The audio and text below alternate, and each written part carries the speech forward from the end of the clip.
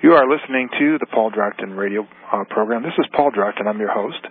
We have a special guest tonight, and uh, we're going to talk about uh, the Senator Nancy Schaefer's uh, mysterious uh, murder-suicide.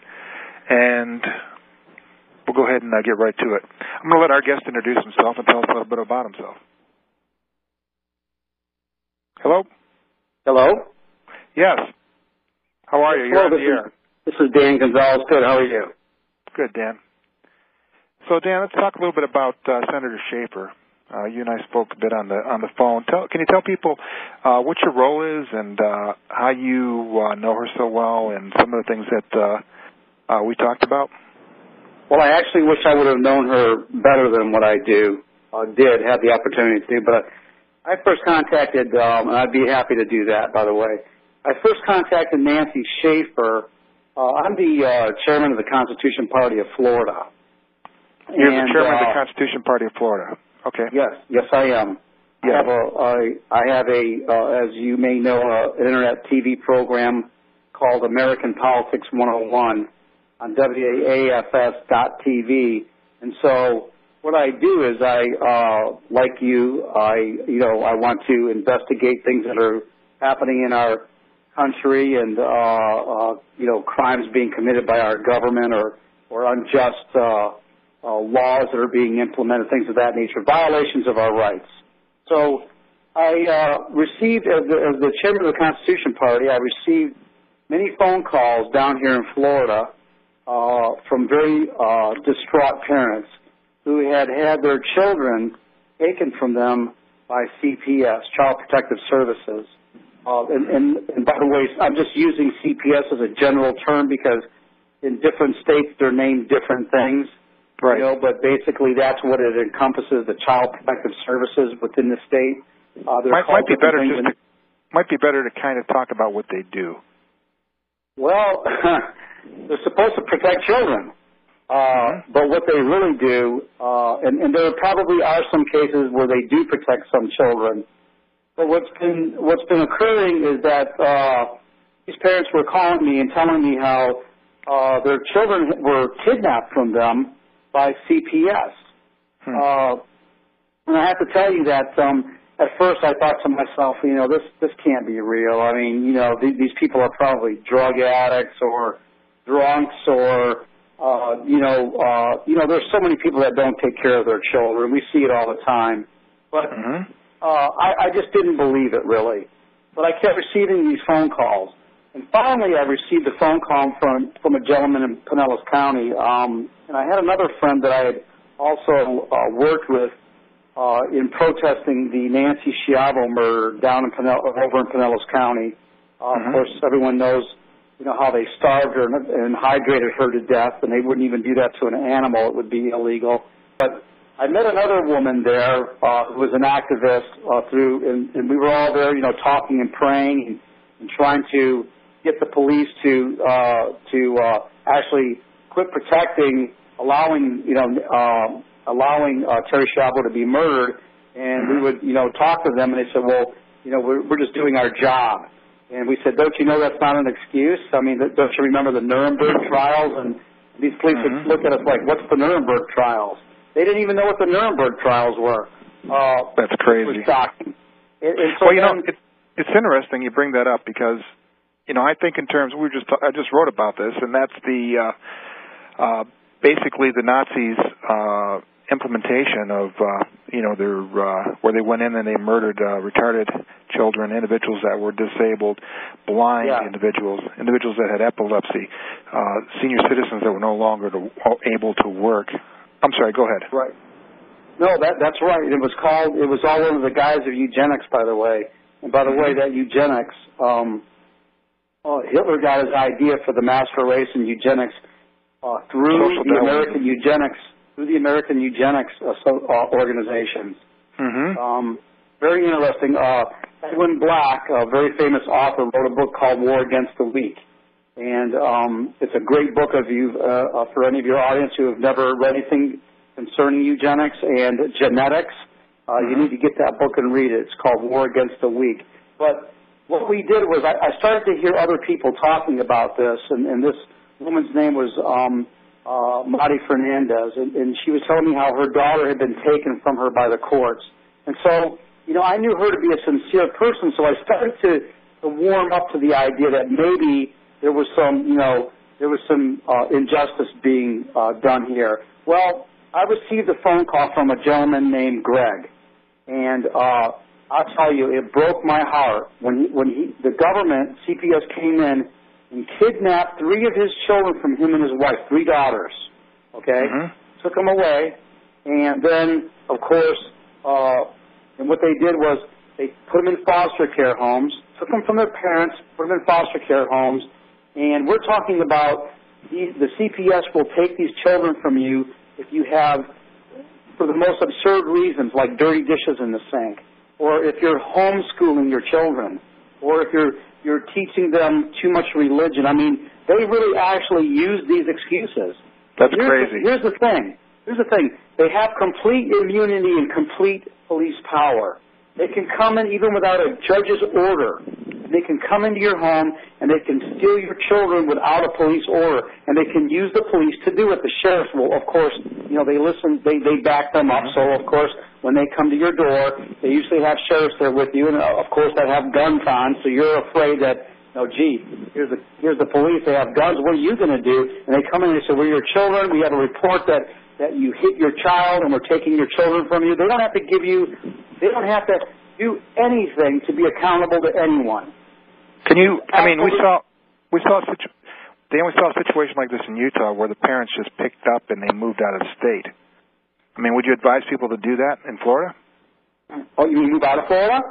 Yeah, just leave. If, if you have any inclination at all that they're coming into uh, with that kind of a thing, just oh, are you kidding me? Well, you know, you know, I'm not going to say what other people should do. I'm Right. not going to say that because um, already I, I- I'm sure I'm already in the crosshairs uh, because of, of how I'm trying to. You know, I had a, a young woman on my uh, program the other day uh, by the name of Sheridan who uh, worked real closely with Nancy and was also a victim herself and of CPS uh, kidnapping her child. And you know, CPS actually, she, the, how this all started with her was that she went, she took her daughter to the hospital because her daughter was crying and she was having problems. Took her Mhm. daughter to the hospital, and the doctor said, um, uh, "Sheridan, um, your daughter has been uh, been raped."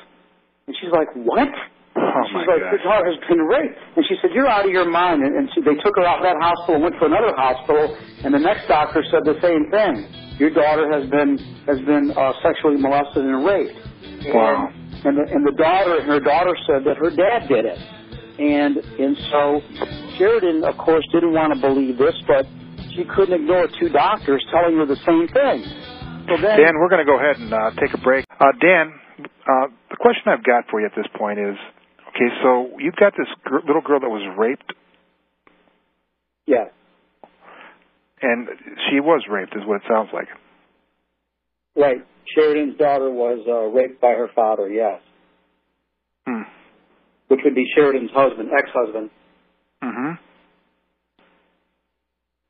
Yeah, go ahead. And, I'm uh, sorry. And uh, what what occurred was, um, so apparently, uh, what she did was what Sharon did was she called the authorities, of course, and reported it, and they came after her and said, "Well, you're a bad mother." And she said, "What are you talking about?" They said, "Well, you're you're the one that allowed this to happen, and um, there's no proof that it was the father."